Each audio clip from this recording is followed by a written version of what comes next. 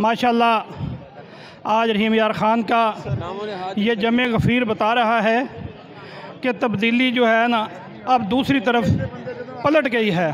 लेकिन अभी भी अभी भी मेरे बहुत सारे दोस्तों का जो तब्दीली वाला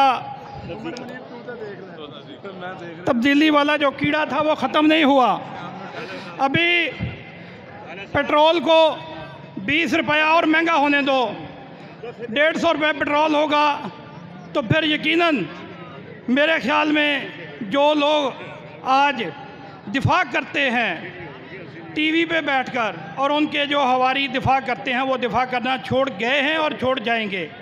माशाल्लाह, आज पीडीएम का ये इज्तम इसी तरह जिस तरह बाकी शहरों में भी हो रहे हैं ये साबित करता है कि लोग अब घरों से निकलना शुरू हो गए हैं। पहले ये होता था कि जब पीटीआई का कोई जलसा होता था तो लोग इसी तरह आते थे।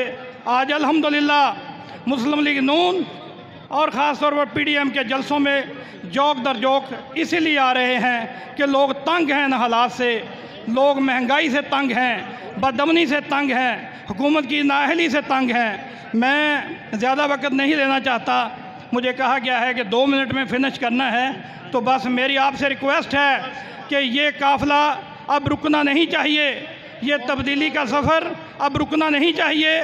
ये जहाँ भी ये अजलास जलसा एहतजाज होगा, वहाँ पे आप सब दोस्तों को निकलना चाहिए। आवाज़ बुलंद करनी चाहिए और इन अन करीब कायदीन पी डी एम के कायदीन इस्लामाबाद की आपको कॉल देंगे तो मेरी आपसे गुजारिश है कि आप उसमें भरपूर शिरकत करें। बहुत शुक्रिया।